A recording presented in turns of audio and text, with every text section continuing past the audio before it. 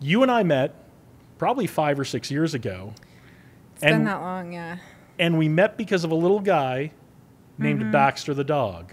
Brings a lot of people together. So tell us about Baxter the dog. Tell us about what you were doing back then. And tell us about what's going on with Baxter Um, now.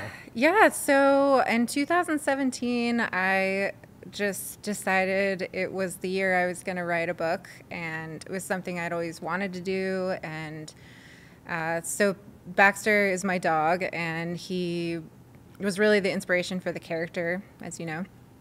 And I, you know, I just wanted to do something really fun that would help me learn about the publishing world. It was an aspiration I've always had. Um, you know, I've always been a creative and wanted to be in different facets of art. So, um, you know, being a designer and you know an illustrator and you know a writer all those things apl- applied to doing a self-published book so i created the series and i did two books a coloring book and a recipe book I remember that.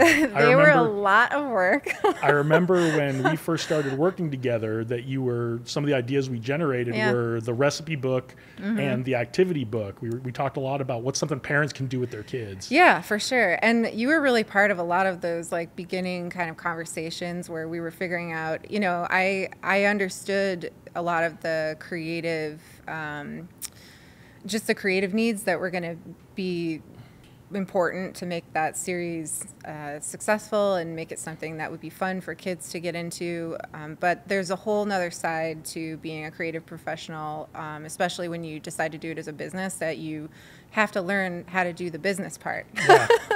Unfortunately, for most creatives, we, we prefer to just, you know, do the art. But it's actually been really fun to learn. And, you know, it's, um, as I've learned about the different areas of you know business and how to like run my business and time management and all those things that you know you really have to kind of just take a deep breath and go one at a time um, and learn. It- It's been fun. It's been fun for me. It's a lot of work, but it's been fun. So. It is. It's great. And I, I'm, Yeah. I'm a big fan of the Baxter books. I- Thank you. they Yeah. are- They are super fun. Yeah, So- so. that was kind of where it all started. And, um, you know, when I had started making that book series, I was also simultaneously um, had begun my own freelancing design business. So we sort of were, you know, figuring out both. You um, had, you had just left working for corporate right Yeah. around that time, right? yeah, and I was like, I'm going to do this. Let's get it. Yeah.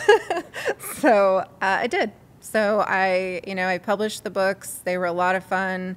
Did a lot of cool things, events. I was on TV a few times. Yeah. Like, um, You- you, know, just got to go out and like read to the kids yeah. and do all did, that. You did a lot of going into schools and reading. And It was fun, yeah. And it really like it was stressful too because that's not. Um, you know, I'm I've definitely got I've got like a pseudo extrovert thing happening where like I'm really introverted, but I've learned how to, to talk to people. I feel Pseudo, like so. pseudo extrovert.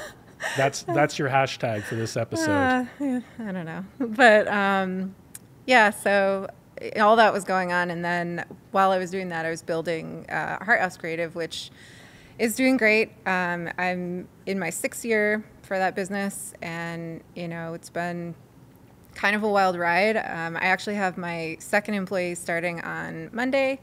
And the client list is still growing, so it's been it's been really great.